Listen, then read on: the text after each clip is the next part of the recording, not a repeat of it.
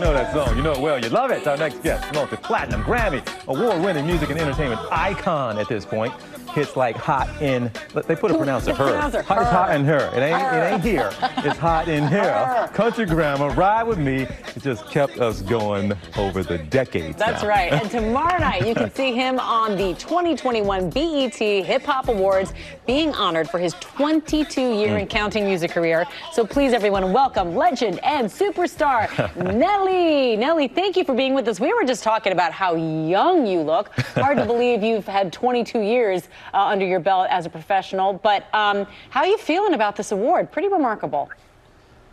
Yeah, man. I mean, you know, it's a little bit overwhelming. You think it, it doesn't it doesn't seem that long. It doesn't, but I guess when you think about it, yeah. Uh, even though I may look uh, a little bit underaged, I don't feel it.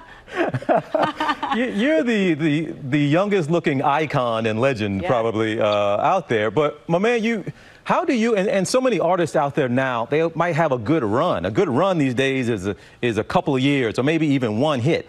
You, you haven't just been around, you have been making hits and stayed relevant. How, how are you able to do what so many just could only dream of?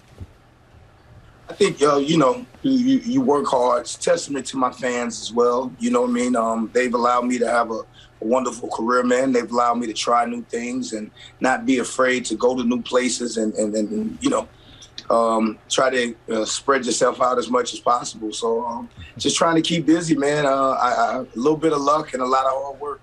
Yeah, well, you have been busy. You just dropped a country album called Heartland, which debuted at the top of the country charts, I may uh, well point out. You have been uh, a pioneer in finding a way to, to be relevant in hip hop, relevant in country, and, and embraced by both genres. How do you think you did that? And, and how did you have the notion to do that? I think it just started when, um, in the beginning of my career, um, just making sure that none of my music sounded alike as I, as I was coming out. I wanted to be different. And um, when I started, even with Country Grammar, before um, me and my Tim McGraw collaboration came about, I was finding out that I was getting a lot of lot of bookings for for like festivals and and, and, and country country uh, different events. And I was just like, whoa, I, I wasn't really paying attention to it like that at first because I thought it was happening to everybody. Come to find out it wasn't happening to everybody. It was just happening to me. So I would go from one show where uh, Tim McGraw might be headlining, and then the next day I would be doing another show where DMX may be headlining. And it was just like, wow, it's amazing. We can't wait to see what you keep on doing. Mm-hmm. Nelly, thank you so much for being with us. We appreciate it. Thank you so much. I appreciate you guys. Thank you. Yeah, let everyone know the BET Hip Hop Awards premiere. It happens tomorrow night on E BET. All right. Yeah, I saw you nodding there. That he is he a acknowledged. creative Right? genius. But he, he was saying post COVID. It's hard to say post COVID. yeah, We're not quite there yet. It's lasting too long. Yeah. And we're still in it.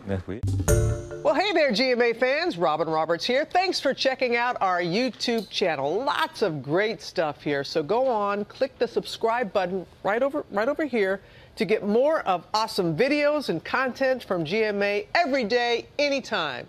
We thank you for watching, and we'll see you in the morning on GMA.